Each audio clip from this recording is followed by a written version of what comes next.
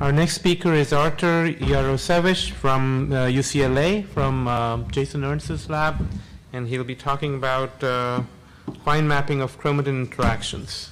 What's that? Um, no, I was he'd, gonna use he'd like to use this. Yeah, yeah. You've got the adapter. I have the adapter, That's actually, work just fine. It Doesn't, Usually disrupts the, um, the video.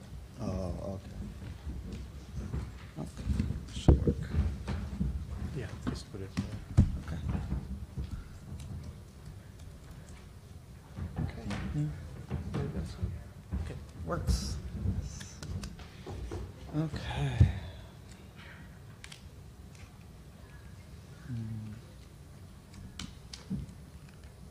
Hi, everyone. Uh, my name is Arthur. I'm in Jason Ernst's lab. Um, today I'm going to talk to you about Hi-C, which is one thing we haven't talked about yet today. We did talk about it a lot yesterday and in the previous sessions, but um, so quick, very, very, very quick recap of Hi-C, since I'm sure most of you are familiar with it already. Uh, Hi-C measures the 3D conformation of the genome. So if you have a skin cell and you extract the DNA, it'll have this tangled structure. Hi-C measures these interactions right here, where you have two pieces of DNA that are close to each, other, uh, close to each other in three dimensions. Uh, this is followed by paired-end sequencing. After you map it back to the genome, you can generate a contact matrix like this. So the way you read this contact matrix is if you want to find the, um, how often two regions interact with each other, you go to these two positions in the matrix. So if you want to find uh, how often 221.6 megabases interact with 222.4 megabases, you just find the corresponding spot on the, uh, the, the matrix right here. And it'll just be the intensity of the value there. Right, so of course, more red means more contact, less red means less contact. Now, uh, the way we interpret these Hi-C matrices is in two different ways. So a lot of people look at TADs, which is what most of the talks have been over the past few days. What a TAD is, is it's a contiguous genomic region where everything is in higher contact than expected by chance. Uh, so we have a TAD here, and you also see a TAD right here. Uh, but what I'm more interested in is peaks. So what peaks are is there are pairs of regions that are enriched compared to some sort of background. Uh, it could either be a two-dimensional background or a one-dimensional background. I won't go into much of the details, but uh, so you can see a peak right there, you'll see a peak right there, and you'll see a peak right there. And these can be within TADs, on the corners of TADs, or totally outside of TADs. Now, why do we care about these peaks? Um, they've been found to bring together regulatory elements, uh, such as promoters, enhancers, repressors, and so forth. Um, unfortunately, because of the really, really coarse resolution of Hi-C, it's very difficult to figure out the exact interacting elements. These peaks tend to be anywhere between 5 kb to 50 kb or more. Um, there's only been one map generated so far that has 5 kb peaks, and even these are incredibly noisy. So generally speaking, you want to call them anywhere between 10 and 50 kb. Um, just as an example, here I have two tracks, two positions in the genome. Each of these is 25 kb. Um, and I drew a little cartoon here where you have enhancers in yellow, promoters in red. And I hope you notice how difficult it is to interpret what's happening in this interaction. Is this CTCF site interacting with one of these other CTCF sites or maybe a promoter? Maybe this promoter here on the bottom is being enhanced. Or maybe this promoter is being repressed. We don't really know. So our goal here is, given two broad interacting regions, can we determine the precise interacting elements? Uh, one way we could approach this is by increasing resolution directly. Unfortunately, because Hi-C generates a 2D matrix, uh, this becomes very expensive. So increasing the resolution by a factor of 10 increases the cost by a factor of 100. Additionally, as I mentioned before, these peaks uh, are very, very noisy. So calling peaks at anything less than 5 kb is essentially randomly guessing. Um, and I hope you appreciate here the difference between this peak right here and this peak right here, by eye doesn't look very different. You, there may be some very fine scale differences there, but it doesn't really look much sharper. Um, another method that you could potentially use is leveraging existing maps to increase resolution computationally. So um, one of these methods is Hi-C+. And what Hi-C plus does is it leverages maps from other cell types to increase the resolution in a given cell type. Unfortunately, uh, they've only generated maps as fine as 10 kb, and it's not clear how we can increase it further. So, how can we increase resolution cheaply? Well, we can leverage epigenomic data, or ChIP-seq and DNase. It's much finer resolution, so uh, the resolution is anywhere between 50 and 100 base pairs. It's much cheaper to sequence. We have many imputed marks for the roadmap, consortium, either from ChromImpute or predicted. And it can give us insight to function of contact. So this is my method. It's called chi-scan. It stands for Chromatin Interaction Siamese Convolutional Neural Net. And I'll explain what the Siamese Convolutional Neural Net is. So the basic workflow here is we run a low resolution Hi-C experiment. We call coarse peaks, and it's very important that we say coarse peaks, so anywhere between 10 kb and 50 kb. Uh, we can use two different types of peak callers here. I look at both HiCCUPS and HiC-DC, although most of the analysis here are going to be with HiCCUPS. And finally, we use ChIP-seq and DNase to infer the high resolution peaks. So essentially what we want to do is we want to narrow it down to two positions. Okay, so what does the data look like? So we take our two interacting regions. Remember, these peaks are two interacting regions, not one contiguous region, but two. Um, you have locus A on the left and locus B on the right. Let's say they're 25 kb. We split these into 100 base pair windows. Then we start generating our matrix. And our matrix is composed of ChIP-seq for histone marks, uh, transcription factors if you have them, and DNase. Now remember, we don't actually need to have all these transcription factors, right? We, do, we can just use imputed marks. And we're answering the question, which subregions are the most important? So which of these windows is most important? So this is what the training data looks like. So each sample here is a pair of matrices. So A1, B1, you can consider that one peak. A2, B2 is a second peak. And for your negative samples, one thing you could do is just randomly sample two positions in the genome, somehow controlled for distance. Uh, this is what I call the genomic background. What this does is it allows us to answer the question, what distinguishes a peak from a non-peak?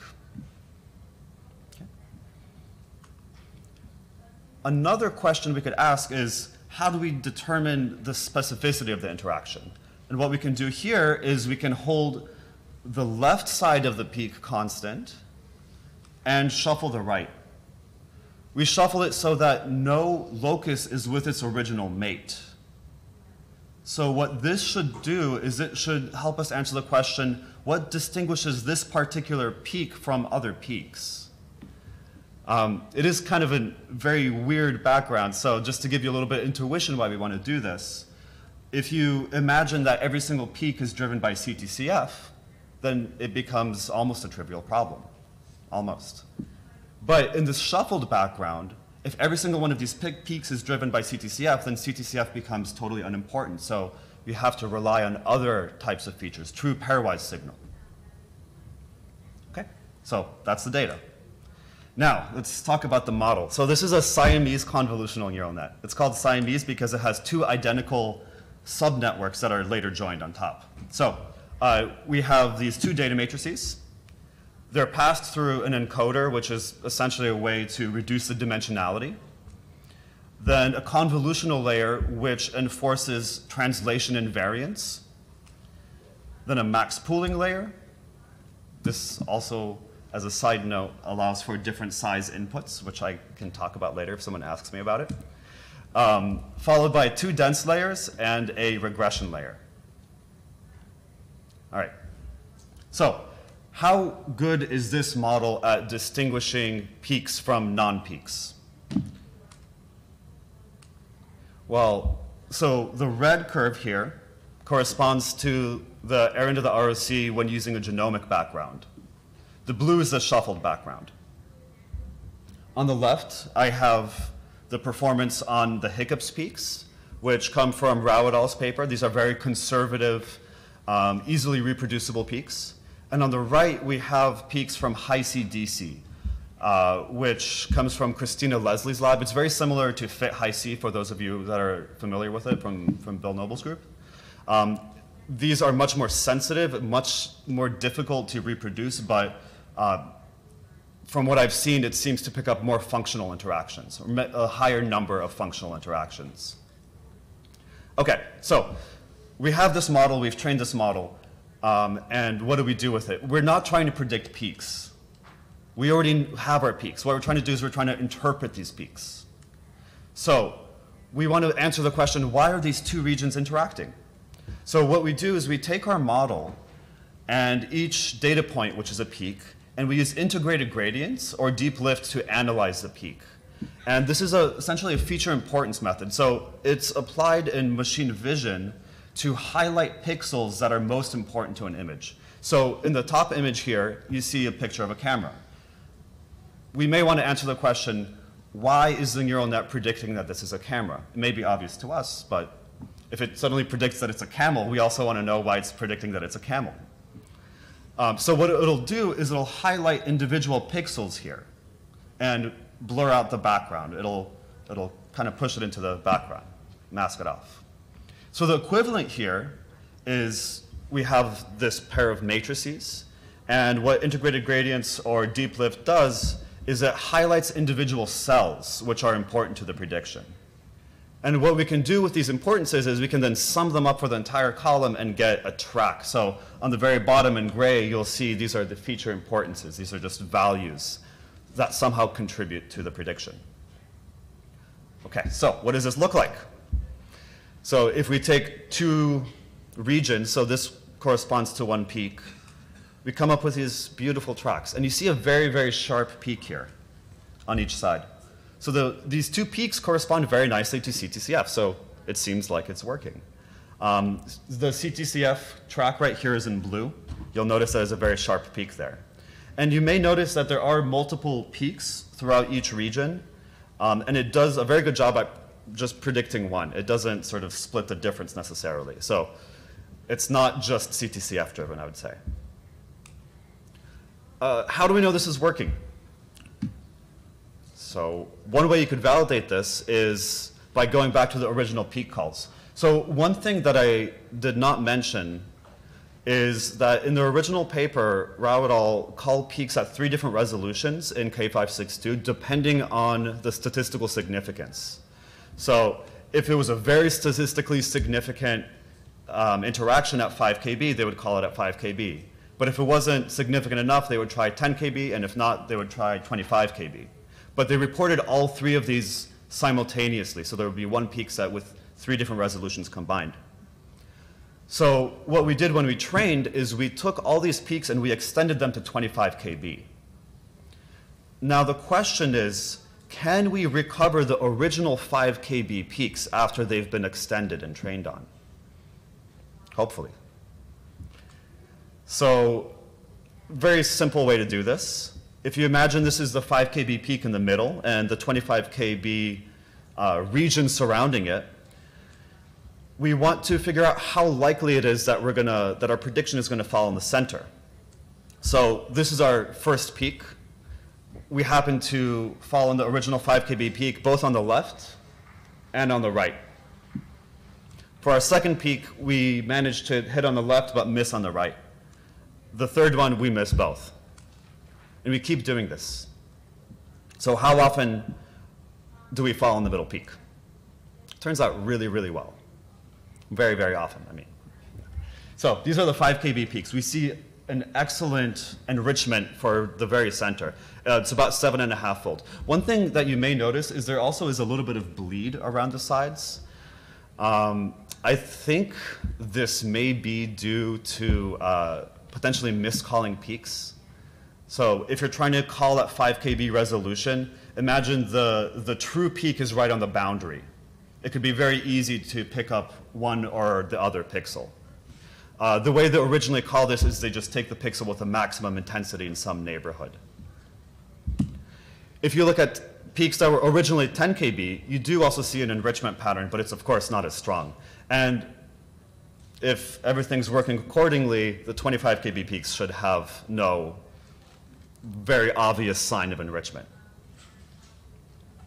Okay, cool. So we talked about the genomic background. What about the shuffled background? So these were the original predictions for using a genomic background. Remember, we had this CTCF being picked up. These are the scores for the genomic background. You'll see that the left corresponds to some sort of strong enhancer and the right to an actively transcribed region. Um, now, this is a little bit difficult to validate because there is no ground truth, and if any of you have any fantastic idea as to how to validate this, that would be very cool. Um, but for now, all I can really do is describe the sorts of interactions that it picks up. So to do this, I looked at the relative enrichments of predictions using a genomic background versus a shuffled background. So what you see in this heat map is different Chrome HMM states. so you see trans uh, transcription start sites, you see promoters, you see enhancers, CTCF sites, repressive sites on the bottom. So this corresponds to the left region, and this corresponds to the right region. So the blue corresponds to more enriched in the genomic background, or compared to the genomic background. So if we use the genomic background, we see many pairs of CTCF sites, promoters, and TSSs. And if we train using the shuffled background, we see many more repressive sites, DNA sites, and enhancer elements. So what I think this is picking up is it's picking up uh, pairs of repressive sites and pairs of active sites. So it could be a useful way of predicting the type of the interaction. Um, lastly, we do see enrichments for CTCF, a very strong enrichment for CTCF, no matter what peak caller you use, if it's um, Hi-C, DC, or HiCCUPS. And we do see uh, moderate enrichment for conserved bases. The SNPs and the EQTLs, it's still a little bit of a unsure which way they should be enriched and, well, whether or not they should be enriched. So to wrap up, what I'm saying we should do is instead of uh, generating uh, very deep, deeply sequenced Hi-C maps, we should be generating coarse Hi-C maps and calling coarse peaks and then imputing the rest. This is, however, very dependent on the peak caller. So um, different peak callers will pick, pick up different types of information. Uh, so really you need to answer for yourself, what kind of interactions am I looking for? Secondly, the background is important here. So what background should you use? If you use a genomic background, you should be able to pick, uh, pick up the peak position very nicely. And if you use a shuffled background, it'll give you some idea as to what that interaction is about, what sort of function it's giving you. Um, and before anyone asks, yes, this can be applied to other types of C technology. Um, if you guys want to talk about this any further, I'll be at my poster B706 in about 40 minutes. So I hope to see you there. Um, I'd like to thank the organizers of ISMB and ISCB, uh, my PI Jason Ernst, and the whole lab. Um, lastly, Anshul Kundaje, I don't think he's here, but I'd like to thank him and his lab greatly. Um, and Merve Sahin from Christina Leslie's lab for running all these peaks. Thank you.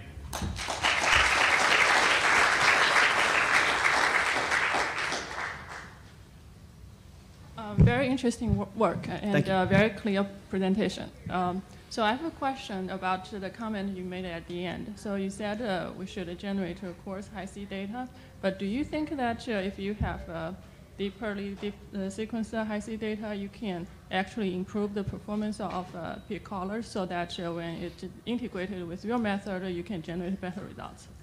Yes. So that is that is a big, big point. So peak callers uh, right now, I'm I'm calling upon the community to really think very deeply about peak callers.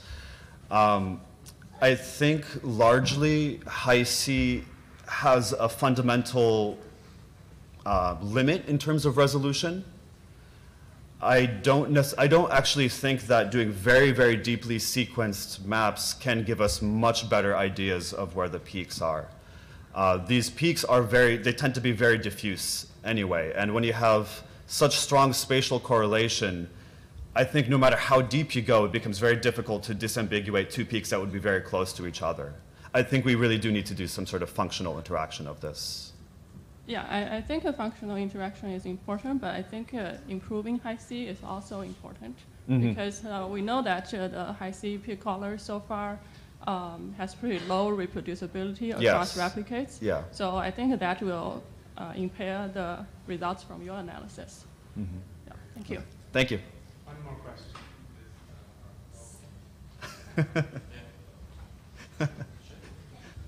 Um, so uh, I guess a prediction from um, from this work is that if you took a, one of the pairs and literally, you're assuming this in the that if you swapped out the the region, like the the local context of one site, it would Mhm. then stop interacting with the other site.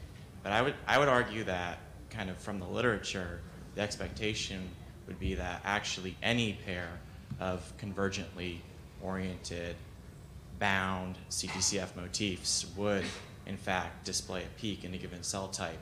And that and that's in part due to experimental depletion of things like cohesin, where that, that interaction is also completely dependent on the presence of cohesin at cell type. So do you have any sense of how to um, actually see if that shuffled control would indeed in vivo not lead to peaks? In vivo, it's a very interesting question because I mean this is ultimately a computational work and really, really more of an analysis than a prediction of what would happen. This is an analysis of what does happen. So I, I would say if you have interactions that are mutually repressive, then the epigenetic landscape is going to be different, and there is going to be those aren't arbitrary epigenetic landscapes, if that makes sense. So if you have like a if you have two regions that are active versus two regions that are repressive, then it doesn't become equivalent whether you swap them or not. I, I think that's an assumption that, we should, that would be really good to test. Because I think, given that all the evidence suggests that if you put cohesin down, if there's CTCF there, you will get those peaks. So I think it's sort of Yeah, yeah. I, I would be tempted to. Well, let's talk about it later. Let's thank uh,